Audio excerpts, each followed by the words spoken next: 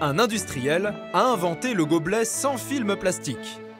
C'est le gobelet officiel des fontaines à eau de l'Assemblée nationale. Je suis un gobelet carton sans film plastique. Avec les petits brins d'herbe, le petit papillon. Là, ça, c'est écolo. C'est sûr.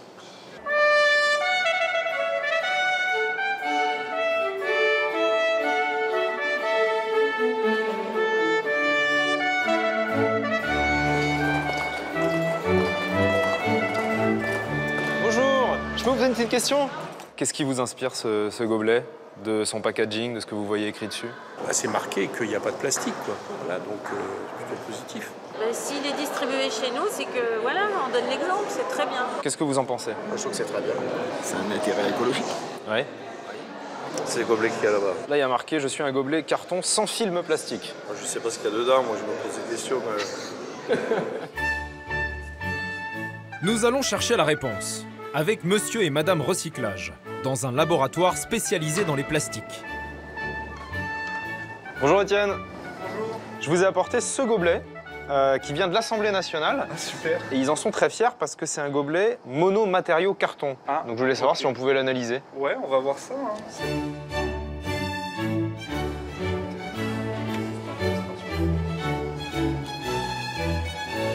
Alors ça donne quoi Alors, moi, j'ai un peu l'habitude, je peux te dire déjà, c'est pas du tout du carton. Ah bon oui, a- Absolument pas. Ça veut dire quoi? Ça veut dire que la surface de ce gobelet, c'est pas du carton. C'est clairement ça. C'est Mais pas du carton. c'est hallucinant. Ah, Il y a marqué mono-matériau carton dessus. ah oui, oui, franchement, tu me montres ça, d'accord? Tu me montres pas ça. Moi, je te dis que tu m'as analysé euh, du plexiglas euh, ou un truc comme ça, mais j'imaginerais pas avoir un gobelet en carton en face de moi. Ah non, mais moi, je suis euh, subjugué. C'est fou. Ça, c'était à première vue, au rayon infrarouge. Maintenant, essayons d'être plus précis. Poussons l'expérience un peu plus loin.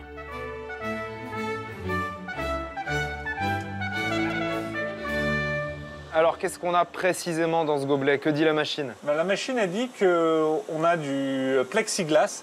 Après, Plexiglas dans le gobelet soi-disant en carton. Ouais, exactement. Après, elle voit pas que ça en fait. Donc c'est plutôt un- ce qu'on appelle un copolymère entre alors le plexiglas et du polyéthylène. C'est un type de plastique, ouais. D'accord.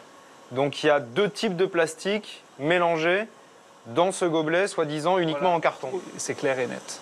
Qu'est-ce que ça vous inspire euh, ce gobelet alors Euh, J'ai envie de dire un bel exemple de greenwashing et je pense que je le prendrai en photo et je vais le mettre dans mes cours, clairement. C'est hallucinant ce résultat. On t'induit clairement en erreur euh, à, à vouloir te faire penser que c'est que du carton, alors que clairement là, on a la preuve euh, en image que c'est pas que du carton. Là il y a écrit euh, compostable à domicile. Je peux le mettre au compost ça? Moi, je le recommanderais pas, et chez moi, je le garde très loin de mon compost. Nous avons contacté le fabricant. Il maintient que c'est compostable, mais reconnaît que son gobelet est bien revêtu d'un adhésif contenant du plastique. Est-ce que vous reconnaissez ce gobelet? Ouais, j'ai même visité l'entreprise qui les fabrique. C'est vrai? Parce Ouais. qu'on a fait analyser ce gobelet Ouais. par un laboratoire Ouais. et en fait il y a du plastique dedans. Ah, Qu'est-ce que ça vous inspire? Ce que ça m'inspire, c'est qu'il faut être euh, extrêmement euh, rigoureux et vigilant. Moi, comme les autres députés, je suis très fière d'avoir ces gobelets. Maintenant, euh, pour autant qu'ils correspondent à ce qu'on attend d'eux.